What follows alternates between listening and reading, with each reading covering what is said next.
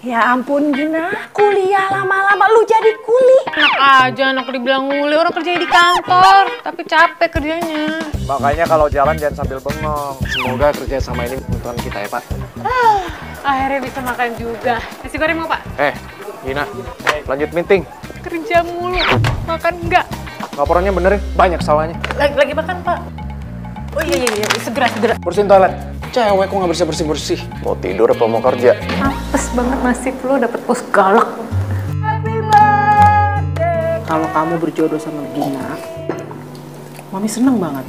Lagian kamu jomblo terus. Truk aja ada gandengannya. Masa kamu enggak? Pokoknya lo harus bantuin gue bikin dia secepatnya keluar dari kantornya Kevin. Kamu udah rugiin aku, bikin malu.